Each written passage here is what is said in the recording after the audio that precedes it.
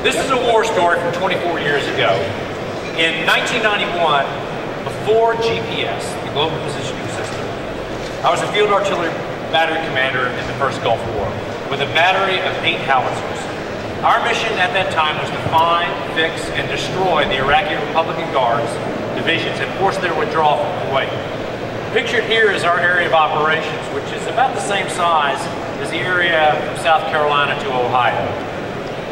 Now, as a battery commander, my command included eight howitzers, eight ammunition carriers, assorted track vehicles, trucks, and about 130 soldiers. At that time, GPS was not used for fire missions. Uh, we only had about a thousand of these receivers in all of the Department of Defense. We in the battalion only had one, and it was in our battalion S3's uh, Humvee and one Loran receiver. And his purpose was to help us navigate through this, a trackless desert, no terrain. So how did our, an artillery battery accurately fire uh, before GPS? There are two types of fire missions. One is a direct fire mission, like a hunter, you see it in your reticle pattern, you shoot it, and you kill it. The second is indirect fire, where you can't see the target. And we're going to talk about indirect fire today.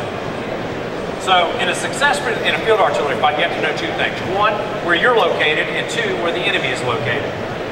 Here's what we fire. A 155 millimeter howitzer round. 95 pounds of Comp B, uh, American made, that would be put into the breech and propelled downrange with propellant that looks like this. So how do you fire one of these 10 miles in front of you fast enough to make a difference without killing your friendlies and, and killing the enemy? The process of indirect fire before GPS took a lot of uh, adjustment.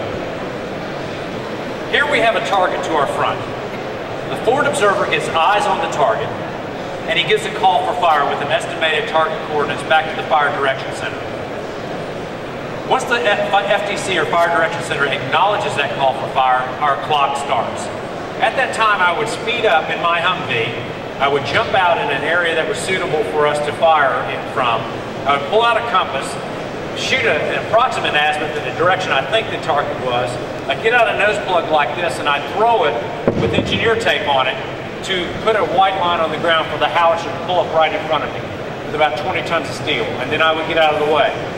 Simultaneously with that, my gunnery sergeant would then pull to the front of the line of that, that uh, metal. He would get out a thing called an aiming circle, and he would lay for direction the other seven howitzers that were then moving into position.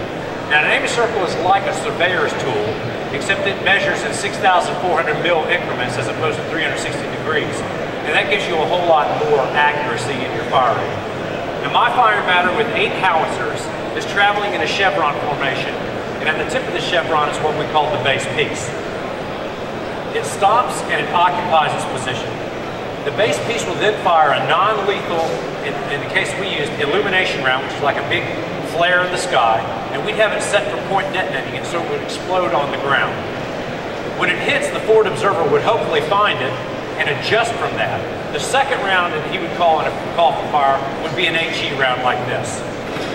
In this example, let's say that the first round is 3,000 meters beyond the target and the 4,000 meters to the left. The forward observer would give a bold adjustment and he might say right 4,000, drop 3,000. The second round, as I said, is a high explosive round and it would land 100 right and 50 over. So during this process, or 500 over, so during this process, the other seven howitzers would be following along in the mission. Finally, the observer would adjust with left 1,000, drop 500. If that round lands within 50 meters, all eight guns would fire for effect onto the target, with the whole process taking about 10 minutes. Now, these principles weren't unique just in the United States artillery. We've been using these for centuries. The Iraqis used them as well. On February 27, 1991, at 10 o'clock in the morning, I had an Iraqi artillery was being adjusted onto my battery. I was on the left flank of the battalion. Uh, off to our left front was a painted 55-gallon drum, fairly innocuous but artillery rounds were landing 200 meters from that drum and 300 meters from my battery. Uh, I always insisted that my soldiers would dig survivability positions to get in below the shrapnel. They weren't going to fight for these, but it would help them survive. As soldiers are wont to do, mine were goofing off, not digging their positions. Uh, so after one round hit, I called a private over and I said, hey, did you see what that was? No, sir. Another one hit. I said, did you see what that was? Do you know what it is? No, sir. I said, that is Iraqi artillery. Well, uh, when he ran back to his section, dirt was flying like what you would see in a Looney Tunes cartoon because uh, they were really uh, cognizant of the fact that enemy artillery was being adjusted in on them and weren't paying attention. The Iraqis knew where they were. They knew where the barrel was, and they were trying to adjust their artillery onto us. Sometimes we forget what life was like before GPS, before each of us had it in our phones.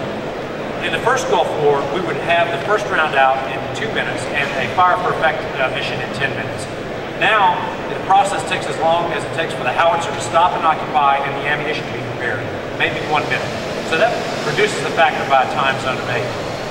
Additionally, the accuracy of GPS minimizes collateral damage and friendly fire losses. The Forward Observer today is equipped with GPS and a laser target designator, but today the Forward Observer may be uh, a remotely piloted aircraft or drone. It may be a camera. You still have to have eyes on the target. target excuse me. And today we know where each component is located. We know where each soldier is located. We know where each weapon system is located, and each artillery round. We know where it's located with GPS. GPS ensures that we hit the right target uh, the first time every time. So during the 100-hour war in 1991, the United States Army moved the equivalent of the city of Atlanta 8,000 miles to the Middle East. We fought and destroyed the majority of the Iraqi Republican Guard, and then my battery, which came out of Germany, safely redeployed back to Germany with all my soldiers.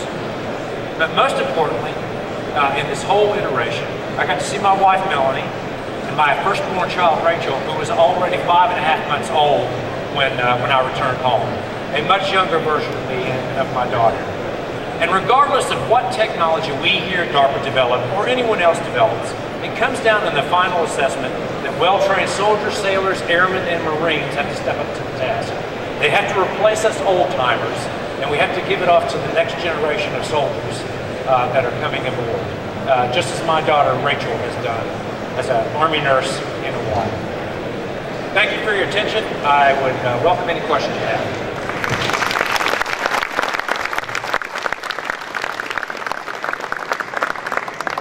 Questions? Open up for questions. Uh, GP, the adversary can also use GPS. So how has that changed the way we have to defend against the adversary? Okay, the adversary, uh, the question was the adversary also has GPS. How does that change how we fight? Um, they may know where we are, uh, and we actually have to be more cognizant of the fact that they have GPS technology, and it's, it's something that we have to be cognizant of and use it as a planning factor. But uh, in the end, and Lee Ruderson will, tell, will speak after me, um, you cannot beat the training and the equipment that, that our, our American fighting forces have. They, they can know where we're at, they're not going to be able to influence it like we would influence them. It's just something, it's like the weather. We have to be cognizant of it and plan for it, but it's not something that's going to impact on how we fight.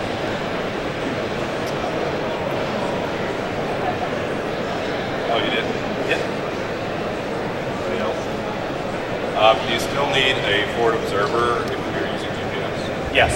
Uh, as, as, even with GPS guided munition, you still have to have somebody looking at the target and giving you a grid to that target. Whether it's a laser off of a, off of a drone, or whether it's somebody on the ground looking at the target.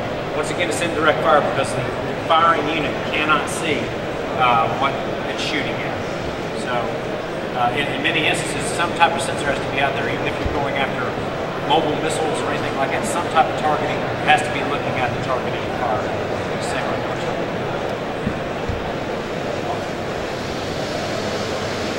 Okay, thank you, Glenn.